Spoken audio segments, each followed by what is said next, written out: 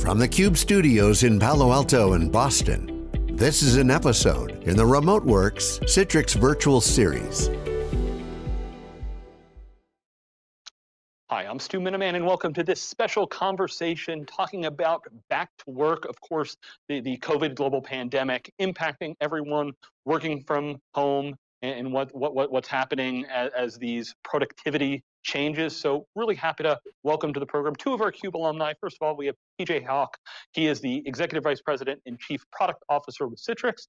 And also joining us, Maribel Lopez. She is the founder and principal analyst at Lopez Research.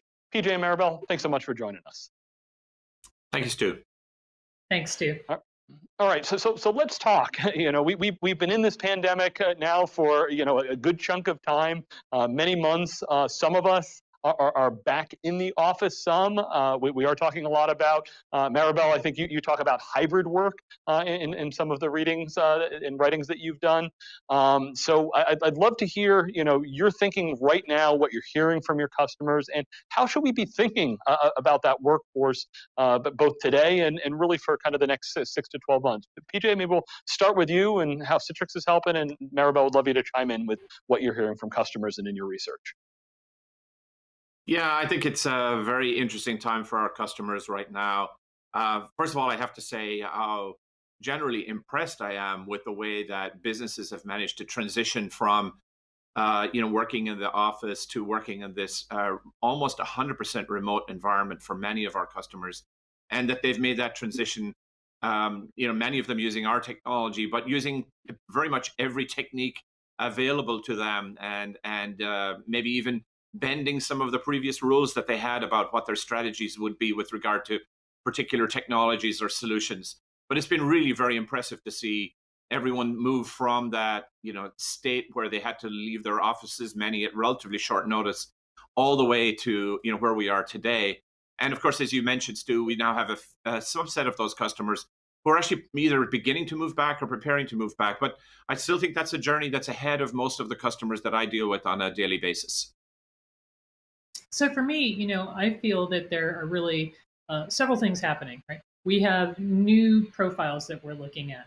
So in the back to office, some people will go back to the office and be full time there. Uh, many people will be remote work. In fact, you might even hire some people and never physically have them come into the office to meet with anybody. It might all be done via video, as an example. And then there'll be nomadic workers, where some people will come in more for this concept of collaboration, and then they'll go back and work from home. So those three profiles, I think we talked about them in the past, but really there were very few people that thought there was going to be a large percentage of remote work. And nomadic work was more something that was thought I'm traveling. It wasn't thought that I might work at home and really use the office as more a collaborative engagement space. Yeah, it, has been fascinating to watch. Uh, many of the large technology enterprise uh, companies that I work with have been giving their employees the option. Uh, it is, you know, okay, hey, when things open up, do you want to stay fully remote? Uh, you know, it's going to be you know the ripple effect uh, on on real estate, on on uh, Maribel, as you were saying. Uh, you know how we think about where they live uh, and work compared to what they have before. Uh, PJ, I want, want to come to you. The, the, the, discussion we've had for many years in the industry is, you know, customer experience is so important, but of course it's the employee experience that is going to be a big piece of how customer experience and we create that delight. Of course, you, as you mentioned, Citrix has been helping customers, uh, you know, really change how they think about where employees work, how employees work. So, you know, is, is this just accelerating what we've seen before? What does that, you know, employee experience look like in uh, you know today's environment? Well, I think this is a really important area for I think organizations to focus on at a time like this. Obviously, there's been a lot of attention in the last decade on the customer experience, and I would say the digital customer experience, and and maybe even a little bit ahead of some of the investments that have been made in the employee experience that has uh, needed to keep up with that. And so, you know, we've been doing some some research. Uh, some of it was done earlier in the year, in fact, that shows a very high correlation between the performance of companies and the response from employees who claim that they have very good to excellent uh, digital tools to help them do their job. And I think one of the areas where companies have either, I will say, succeeded or maybe felt a little bit of stress in the system in this movement of employees from uh, the office to the home is whether or not the experience they were able to deliver was consistent with what the employees had previously been leveraging when they were in the office. We've all built up a set of technologies and capabilities uh, over many years in our offices, and now we somehow, you know, came home with a laptop or a Chromebook, and the, the reality was, you know, did that really reflect the best power of the tools and the capabilities that the that the employees previously had access to in the office? And it's certainly been an area of focus for us at Citrix is really matching that set of capabilities so that no matter where the employee is, they get full access to the set of applications and services with the security and the control that you need to protect all the assets of the enterprise. You know, PJ, I think this is actually really important. This concept, um, I'm calling it a right time experience. You know, right information to the right person at the right time. So, how do you get your applications and services to them on whatever device they might have had during the pandemic? Because a lot of people didn't actually have laptops at home. Maybe they were in an environment where they were using desktops. So that application delivery was really important. The security wrapped around that is super important because now we're in a scenario where basically the crown jewels of an organization, their data, is in homes and other places distributed around the world. So we have to make sure that a that that's accessible and that b that that's secured. And i think that this is a new imperative that we've talked about for some time but how you deliver it in this new world is very different. And i think that the employee experience had always lagged the customer experience and now we're trying to close that gap and hopefully take it to the next level yeah, good, great point. I, I was just kind of laughing. I, I, think back, if you dial back the clock, you know, say 15 years, uh, the, the discussion was all about the consumerization of IT. The experience that I had at home when I was using devices or using technology was better than what I had at the office. Now, of course, you know, not only do I see people taking laptops home, they have their big screen monitors. Um, they need to make sure that they have access to the right data. We need to make sure that, that things are secure.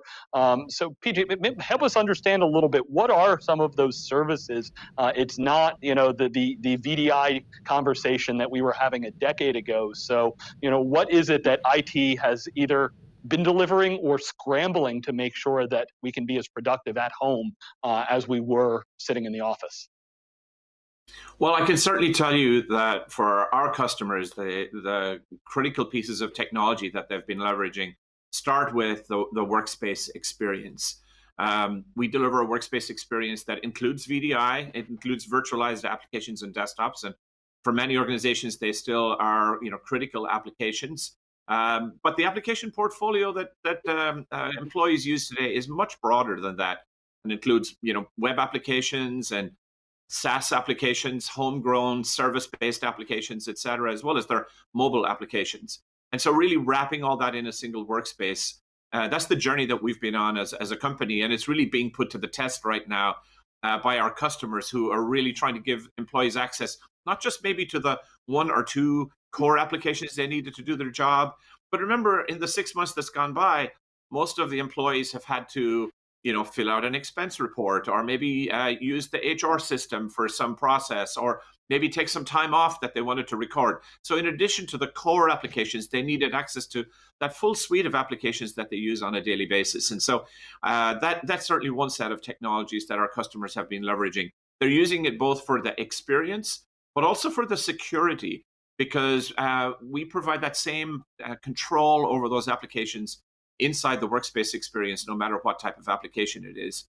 And then I'd say the second area where our technology has been heavily leveraged is in our networking products, providing the access and the control back to the enterprise resources that employees have to get, get access to on a daily basis.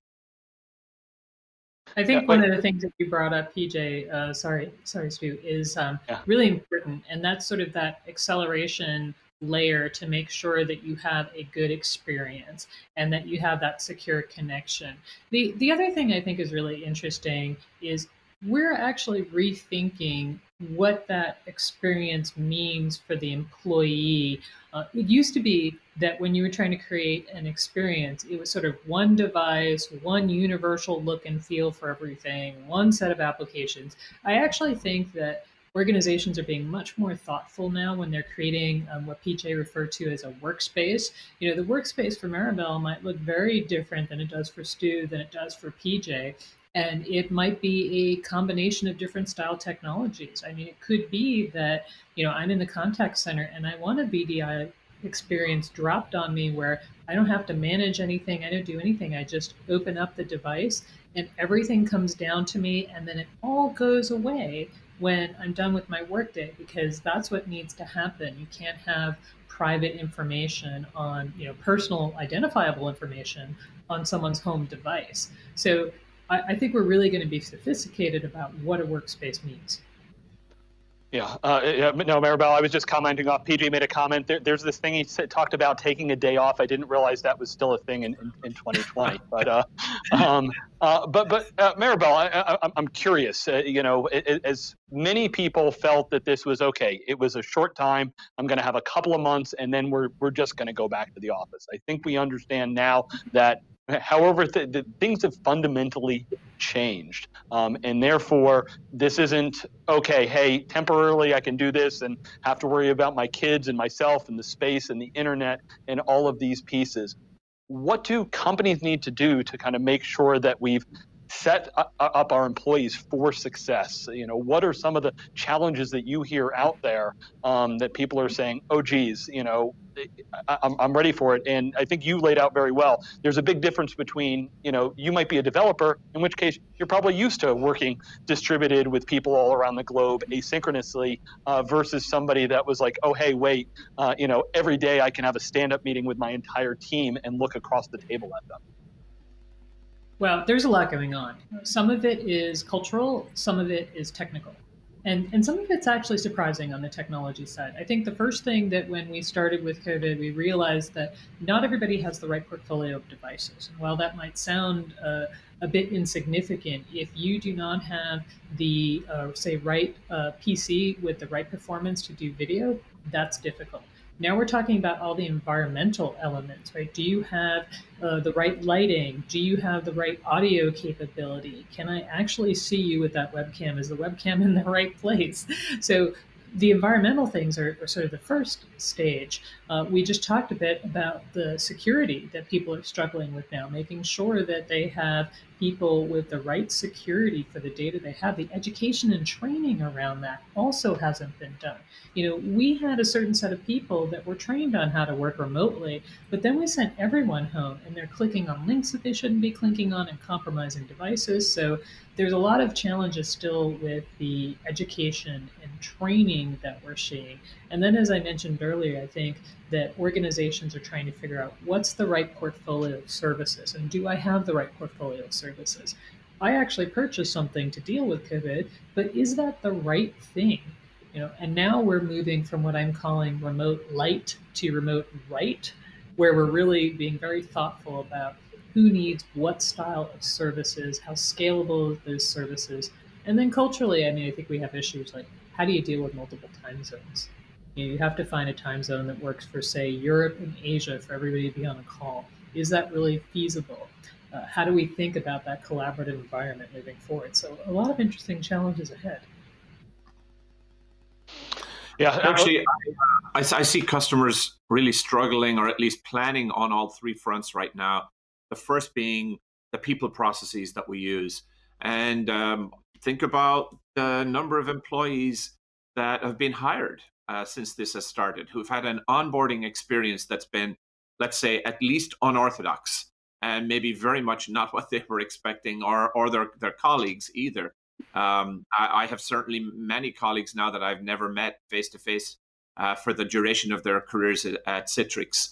Um, and hopefully that will change at some point in the future. But I know in the meantime, we're going to onboard quite a few more employees who have that same experience. So I think you, your people processes, starting with onboarding, but all the way through to you know training and and everything else, especially for managers, I think is really important. Then you think about the processes that we have as as companies and how we conduct our own business on a day to day basis. And many of our processes were highly optimized for face to face communication, as you pointed out, Stu, being in the same conference room across the table from each other. So, how do we, I would say, lean down maybe a little bit our processes, make them a little leaner, make them easier to operate for people who are operating remotely? And then that last part is, of course, what's the what's the technology that we bring to bear in these solutions? Both, I will say, the technology that we enable people to have access to when they're remotely working, working from home, and then how do we reconfigure shared spaces, office spaces, so that they make even more sense when we're back in the office? Personally, I don't see myself going back to the office to do solo work. I see myself going back to the office to communicate with other employees, to collaborate with other people, and to connect to my team. And I'll probably find other ways to get my work done, but I leverage the office more as a, a shared collaboration space than I previously thought about in the past. PJ, I, I, liked what Maribel talked about, uh, setting up, uh, you know, remote work right. Uh, you know, the, the promise has been, uh, we've talked about for, for a lot of years. Heck, I, I remember working in the telecom uh, industry back in the 90s. It was going to be, well, you know, we should have ubiquitous video and access to everything wherever we are. You know, 5G, come on, we're going to have enough bandwidth uh, to be able to solve all these things, right? So help us understand, you know, how do we deploy something today that gives people the flexibility so that, as you said, you can be remote when you're doing solo work, you can go to the office, and, you know, eh, are, are we getting to the point that companies have that elasticity and agility of technology to enable that? Well, I certainly think while the problem may have gotten more complicated, I think the array of solutions that's available to customers is staggering right now. Let's start with just the cloud infrastructure that, that's available to organizations. It truly is elastic capacity if you've built a cloud footprint for your organization. And we've seen many of our customers take advantage of moving a small, what, what had been a small group of employees who may have been working remote to having to support everybody and just extending that cloud infrastructure capacity. Clearly, something that you can do in a very different way than if you're trying to build out data center capacity, for example, on premises in order to deal with it. So I think that's one thing that's changed. The second thing you hinted at, which is just the quality of network infrastructure. Clearly not perfect. And those of us that are working from home in remote locations um, occasionally experience the glitches that we probably didn't experience quite so much in the office. But on average, I would say that technology has proven to be a you know highly scalable and worthy of all of the investment that we've made in it as a, as countries and as industries. So that's the second one that I think is really you know really quite different. And the third one is I think the nature of the solutions that are built on top. Uh, not just you know the technologies from Citrix, but you look at many of the other applications, whether it's modern video conferencing software or collaboration tools Many of them were designed with the cloud in mind and with connectivity as a core principle.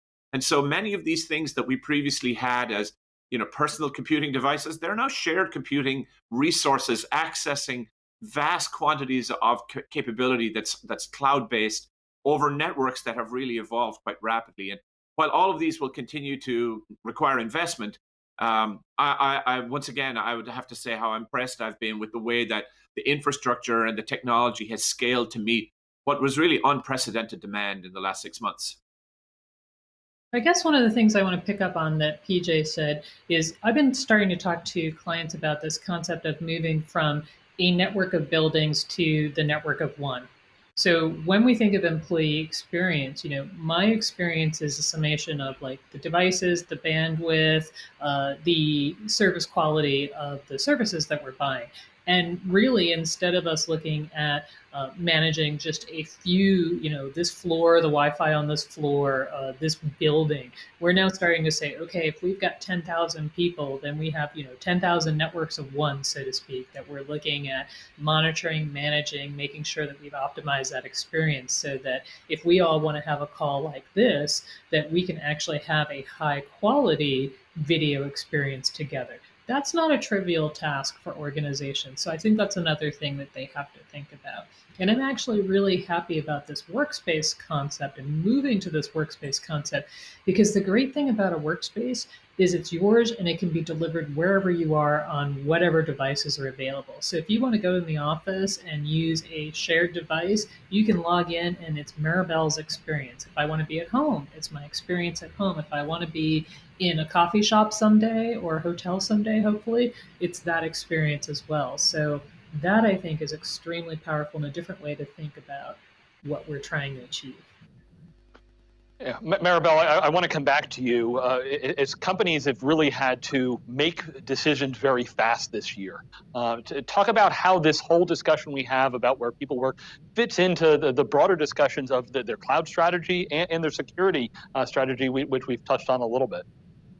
Well, one of the things I think is fascinating is uh, pre COVID, the type of discussions we were having with people is, oh, I don't know if I can go to the cloud, or only this type of data can go to the cloud, and I really have to figure out how to parse it and do governance on it. And we need a managed, you know, three to five year transition plan, and I plan on having X percent of my apps this year and Y percent of my apps. Well, hey, that all went out the window. If you really wanted to get work done, you basically ramped up your cloud efforts very quickly. So many of the sacred cows have actually gone away, which I'm really excited about because now I think we can truly take that digital transformation concept to the next level where we're saying, okay, we're not recreating everything that we had in the past. We're now starting to think about, well, what types of new processes and services make sense? How do we actually do business process transformation, not just technology transformation? So, very big change within six months. Now, I think a lot of organizations had to do it quick and dirty. And now they're going back and they're saying, okay, you know, part of that remote light to remote right concept is just in general. Did I buy the right things? Should I buy something different? You know, what is the set of you know SaaS services, cloud infrastructure I need? So they're going full guns. Like digital transformation has happened for many organizations now. And now, how do we get it to the next level? I think, uh, Maribel, one of the important things that you highlighted is in this transition to new platforms like moving to the cloud that organizations go through. Um, step one often is to effectively recreate what they had in that new environment. But the reality is that the cloud and the capability of the cloud opens up a whole vast new array of potential and possibilities.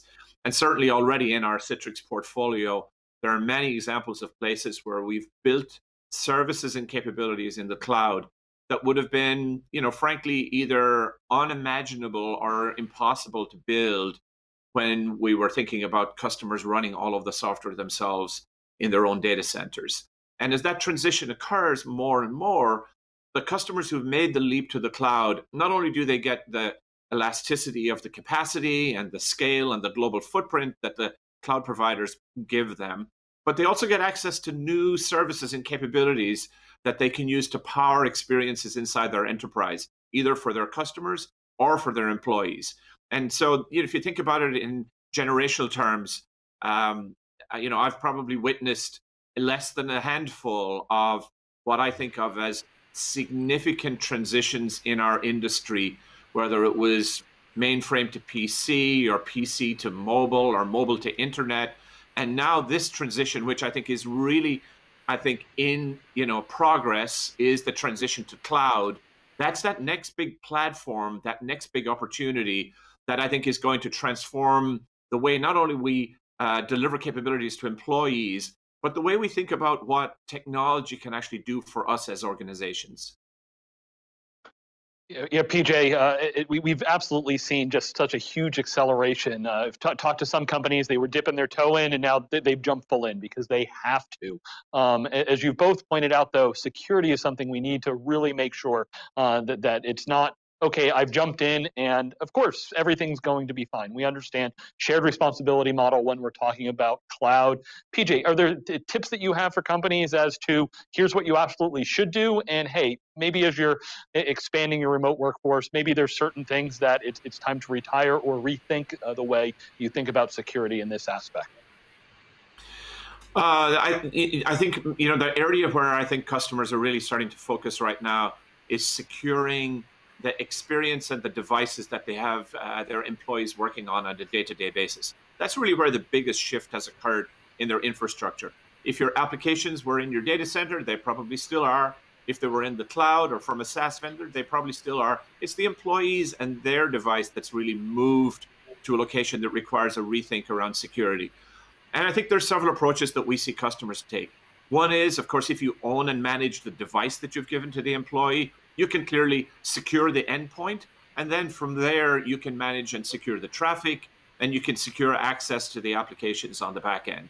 In fact, in some ways, that's the, I'd say, either the brute force way or the, I think, easiest way for an enterprise to achieve this. The reality is, though, that many enterprises have relied on employees either leveraging uh, personally owned devices or issuing them with devices that previously they hadn't thought about required that they needed management in the organization. And so this is where some of the technologies that we have at Citrix, where we've moved the security boundary from the physical device to the workspace itself, to the experience, uh, really allows you to migrate that same security profile across multiple platforms, across multiple endpoints, and still deliver that same experience to the uh, to the employees. I think so. I think that's one from an experience point of view. And then the second one is we've seen a lot of customers rely very heavily on VPN as an access mechanism to get to uh, corporate resources. And again, I think it's uh, unfortunately one size doesn't fit all, but VPN is uh, is effectively a one size solution and it is the keys to the kingdom. Uh, once you have access to, to VPN inside an organization, you have access to everything that an employee uh, had access to. And so, what we see is customers taking maybe a more granular view of how they implement security at the application level uh, so that they can grant me access to the apps that I need inside the uh, data center infrastructure inside the enterprise infrastructure, but not necessarily all the applications and all the data and all the content. And so I think there are you know real uh, technologies that are you know in the market today that are available to customers to really come back and look at maybe some of those brute force solutions that they initially deployed and now start to layer on maybe more granular and more sophisticated solutions on top of that that really minimize the security risk and narrow the exposure to literally just the data that's absolutely required and the applications that are absolutely required. You know, I actually want to pick up on this because I think this is such a critical point for organizations. And, and, this VPN point is a good one. When I was talking about moving from remote light to remote right, VPN is not enough. If you've given somebody access to the kingdom, what if they happen to be on a compromised device? Well, then you basically just opened, as PJ said, yourself up for bad actors to enter your organization.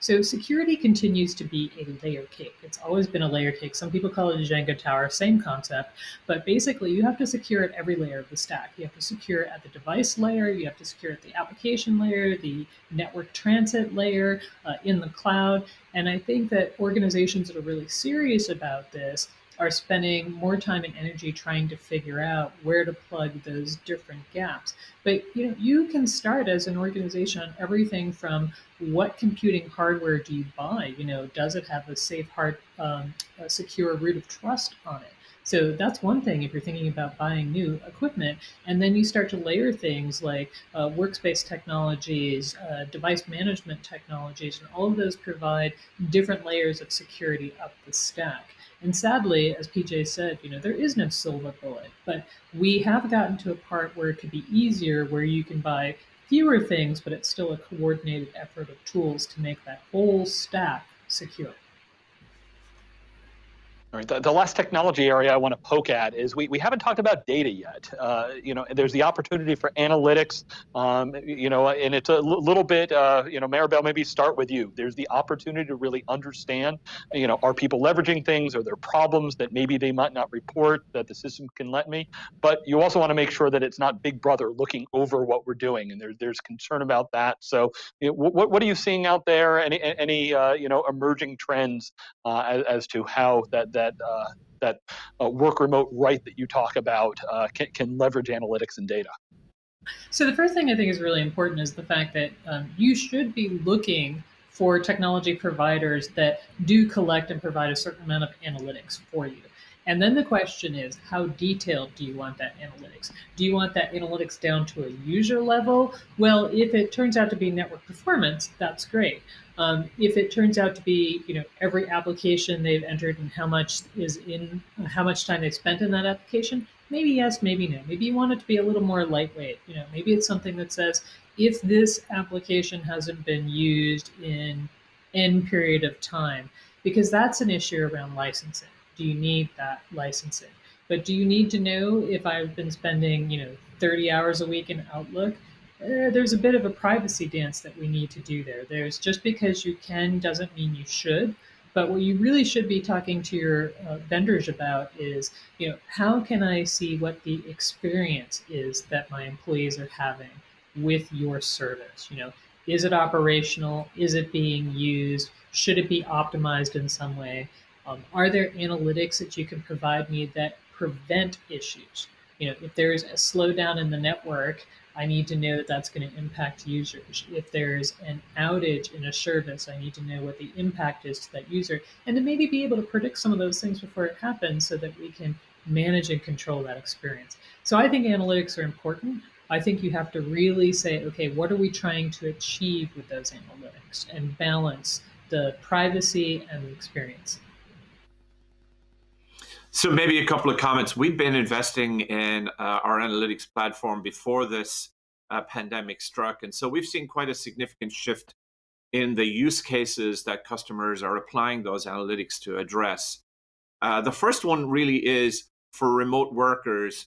Uh, the point that that Maribel alluded to is, you know, have I delivered as secure an experience as I previously had delivered to my employees who were inside the office, and how do I measure myself against that. And certainly, we have the security analytics capability to help organizations understand anomalies in the system, whether or not they're occurring, you know, inside the data center or on the endpoint device that the employee is using. And so that's one that I think customers are finding very va- valuable. A second area is to do with actually the quality of that experience, the performance of that individual experience. And so we're again tracking at the user level what their experience is like. And we're allowing organizations to have visibility into whether or not they've actually delivered a usable, you know, high quality experience to all of their employees. Something that I I frequently saw IT uh, do by walking into offices and looking over your shoulder as you use an application and, and saying that's pretty good uh, performance. And now, of course, they're relying on remote response from remote employees with, you know, uh, networks that they don't manage. So really, can you get a handle on what that experience is like? So both of those are actually uh, analytics services that are aimed at helping IT deliver a high quality, reliable, secure service. The other area where we are exploring and, and beginning to see some usage for analytics is actually sharing the insight of usage and patterns of usage with the employee themselves. So while it might not be um, advisable to record how many hours I spend in a given application and share that with IT, it might be useful information to share back with the employee themselves about their pattern of usage of applications, maybe recommending um, applications that other people in their group, their team or their work group are using, maybe recommending content, documents, insights, reports that other people have access to. And so if you start to take a broader look at how that analytics and understanding of user behavior can get used, you can see that it can not only inform the security posture understanding of the organization, but it can also augment the employee's own experience inside the workspace. And, and personally, that's where I'm most excited about the re, about the use of analytics is not so much on on the IT side, which I think is quite expected, I think it is the novel and innovative use of analytics to really drive new experiences inside the workspace. I think this contextual concept is great, right? So understanding how you use your services, understanding what your team uses, um, providing that extra bit of analytics that tries to help you figure out what you should be doing next. How can you optimize your own personal performance and productivity? That's where we start to see the analytics sing and do something different that we didn't do before. So it learns about me, it predicts things, but it also creates helps me create new new better employee experiences. Yeah, I, I, think my phone is uh, keeps asking me if I want to uninstall the entire folder of travel apps because it's uh, it's been a long time since I've touched those. Um, look, it's been a really great discussion. Uh, if, if, there's one thing we've learned this year is that you need to be open to the new data, and listening to everyone, and being able to adjust fast. Uh, as we said early on in this this, this whole uh, pandemic, that you know the companies that have gone through digital transformation, they're lucky because they, they the agility that they've built into their processes is going going to allow them to do that. But as we've seen, many other companies are, are moving fast. And uh, I think Satya Nadella is the one who said, you know, we did two years worth of, you know, transformation in two months. So I want to just give you both uh, the final word, uh, you know, final advice for, for companies as they, they look at that challenge in front of them as to back to work that we set up at the beginning. Uh, PJ, we'll start with you. Well, um, Thank you, Stu. I mean, the first thing I'd say is once again how um, you know I've been impressed by the organizations that we work with, our customers, and their ability to move quickly to address the immediate problems. I think the good news is that this was a a roadmap and a journey that many of their um, their uh, suppliers and vendors, including Citrix, we were on the path to help deliver solutions that are very much aligned with what these organizations are experiencing. So I think it's a great time to engage with organizations like ours and others that are providing these technologies to understand what that roadmap actually looks like and to really pick the best of what's out there to help organizations, I think, make them more thoughtful and considered and probably long-term decisions that they've got to make over the next uh, you know six to 12 months that really set them up for success here in the future. Um, i'm very excited because in many ways i feel like um, that that uh, experience that organizations had of, of accelerating their two-year project through you know two months or two weeks. Um, that's that's a journey that we've been on with those customers and we're excited by the fact that they've come through that first phase. Uh, lots of people have a lot of things uh, still to figure out ahead of them and we're um, we're we're delighted and honored to be engaged with those customers to help them through that